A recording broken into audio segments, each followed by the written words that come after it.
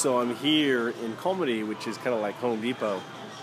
And, you know, being an American, I assume, hey, if I buy something on my credit card, I can easily return it. Well, I have a Visa debit card. I don't I have a credit card.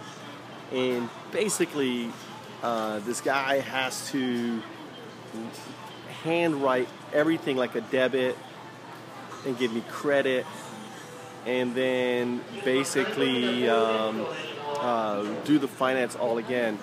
The idea of store credit in Japan doesn't exist. I was like, just give me credit and I'll, you know, work against it. And they're like, no, no, we got to do it this way. So now I'm sitting here probably an hour. So in future, if I'm going to buy stuff from um, Komeri, use cash, and then they're just you know return the cash to you. But they won't do cash to credit. Even though last time this happened, the guy did do. He's like, oh, here's the cash. He did it out and gave it the difference.